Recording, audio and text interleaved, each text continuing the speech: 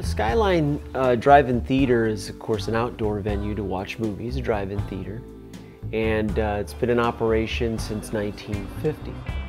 Obviously, on the surface, what we do is we show movies, right? Outdoor movies, uh, double features. It's always double features. Such was the nature of drive-in theaters from the very get-go. And that's topically what it would be, right? You know, for someone to describe it. So I started becoming a fan, and uh, what happened is my son turned about three, and um, wife was pregnant again, and I thought, well, it'd be kind of nice to, you know, get him out of the house, my son, and and go do something together. So we started going to drive-in theaters, and uh, you know, every weekend we started doing this again, and it was really nostalgic for me. And there was a change of ownership at the Skyline Drive-In in 2009.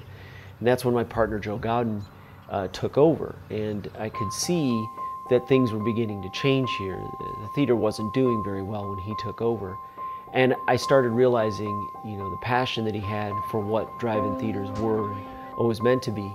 And I could see the growth that was occurring here. And at that time, we were going uh, to, we were being forced to go uh, to digital projection which was a big change for the drive-in theaters and all theaters, but more so for drive-in theaters or single-screen theaters.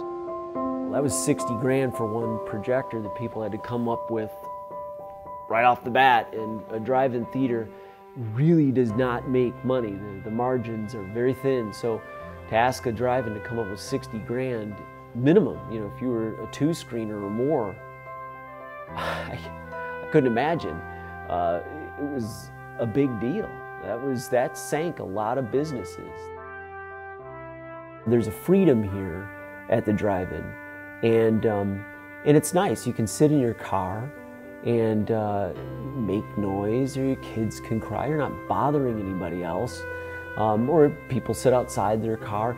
There's to us um, a certain freedom and open atmosphere in a community in a drive-in that you don't get in a very sterile box environment. We do this because we love it.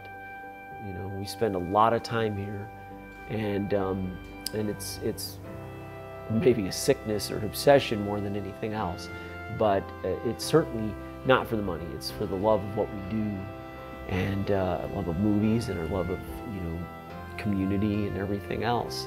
And that's why we're here, and uh, and I think that's a, a special reason as well.